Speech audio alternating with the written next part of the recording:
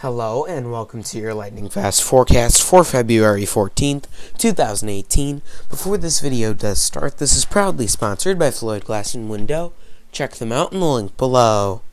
Let's get right into it today. Things are going to be around 44 degrees this morning.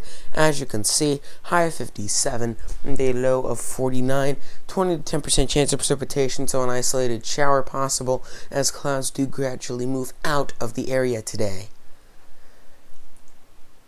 getting into the next seven days. You can see Thursday things are going to be pretty windy, some precipitation possible, high 65, low of 32, 50% chance of that. Then we're going to see that temperature tank. Then things are going to gradually warm back up again. And then we're going to see a couple days of rain here. This could cause some flooding and some other issues. Very windy conditions Sunday through Tuesday. And we're talking wind gusts over 50, maybe even 60 miles an hour in localized areas.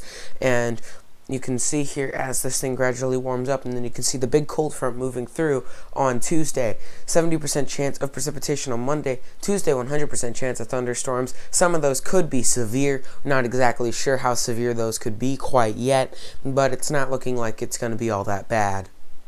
Check me out on social media at MicroCasting on Facebook and Twitter. Thank you so much for watching. This is MicroCasting St. Louis, signing out.